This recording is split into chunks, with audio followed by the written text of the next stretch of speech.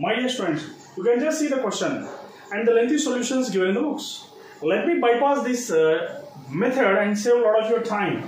You can just see here what is asking. Velocity of light, gravitation constant, Planck's constant and mass is taken here. That means mass is equal to what are the things you have to consider? Gravitation constant g power a and Planck's constant h power b and velocity of light c power c you can take. Velocity of light is as c. So this method if you use you are going to waste a lot of your time. I've got a simple shortcut for this. What is that? Let me discuss here now. You all know f is equal to g m1 m2 means g m square by uh, r square or you can take d square whatever it may be. So i'm taking m square is equal to f into d square by g.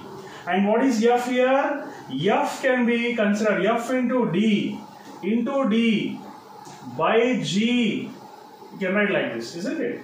F into d i have taken and this force into displacement can be taken as work or energy. Both are going to be same here.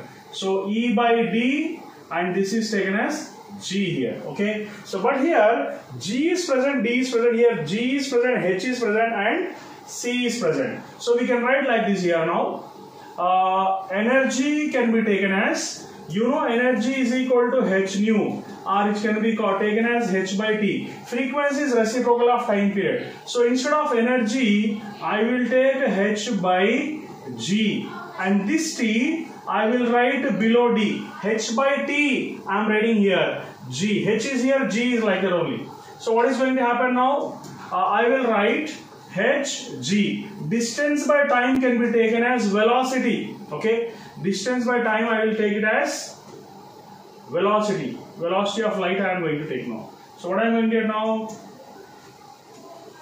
This I will be getting like velocity of light is C. So from this it is understood that m square is equal to hc by g. Square if you hc by g. Square if you send that side you will get h power 1 by 2 and c power 1 by 2 and divided by g power 1 by 2 so your answer is h power 1 by 2 and uh, c power 1 by 2 g comes to numerator becomes g power minus 1 by 2 this is a simple method. Need not remember the dimensional formula for energy, uh, gravitation constant, Planck's constant, nothing else. You can just directly modify the formula and get the answer. Hope you have enjoyed this one. Thank you.